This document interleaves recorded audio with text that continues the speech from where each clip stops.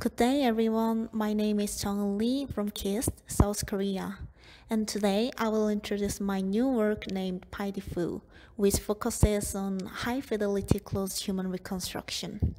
This work has been done with Sanghun Kim, Hansol Lee, Tserendorj Adiya, Hwasup Lim from KIST, South Korea. Our objective is to reconstruct high-fidelity clothed 3D human model from a single image for making more accessible human digitization. In this field, the pixel-aligned implicit function has been a significant advancement. It captures intricate local details by determining the occupancy field using pixel-aligned image features and depth values, However, PIFu's dependence on depth value alone in the same way can lead to issues like floating artifacts and unnaturally elevated body parts, especially when depth ambiguity exists in the image. Our goal is to address these challenges through the diffusion strategy. While many recent studies have also aimed to tackle this issue, most of them concentrate on conveying rich features while maintaining PIFu's pointwise occupancy estimation strategy built on the MLP.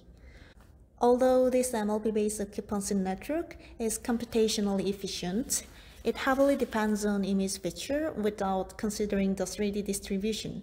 This limitation can compromise its ability to reconstruct plausible geometry, especially when an input image significantly deviates from the training data distribution. Some research, such as GeoPIFu, adopts a 3D U-Net-based approach to learn 3D correlation. However, this method also struggles with the same situation. So our key idea to address this issue is that using diffusion model for line-wise estimation conditioned by pixel-aligned feature with the guided attention. Let's delve into how the model works. Firstly, it employs a diffusion model to learn 3D geometry distribution for utilizing robust conversions toward trained distributions.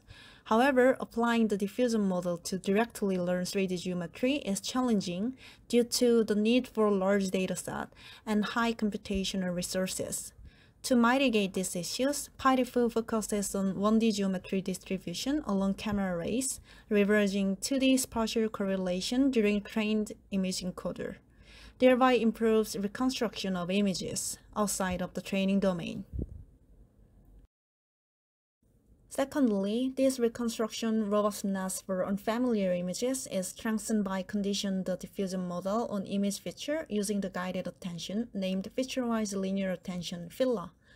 By incorporating a feature-wise modulated feature into the existing path of the diffusion model, the model can prevent drastic shift, thereby avoiding the generation of incorrect gradient when encountering unfamiliar images. Finally, our method is designed to integrate seamlessly with existing PIFu-based methods since our work only changes the surface classifier part. By changing point-wise estimation to line-wise estimation and employing the diffusion model instead of MLP as a surface classifier, the entire network is trained in an end-to-end -end manner with various PIFu-based methods. So this is our full pipeline.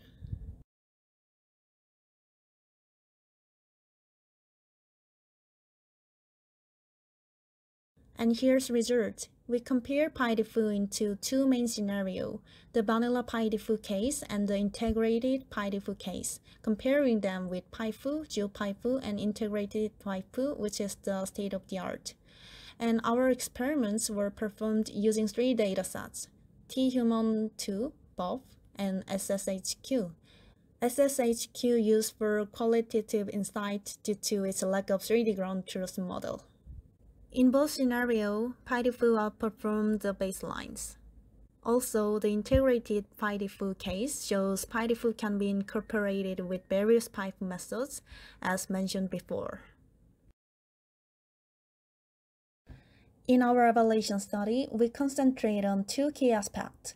Firstly, we examine the impact of the diffusion model by comparing it with RayPIFu, which uses line-wise estimation with an MLP instead of the diffusion model. Secondly, we compared FILA and FiLM conditioning methods. In both aspects of our study, the result indicates that our methods operate effectively, particularly in managing out-of-distribution features. Thank you for listening.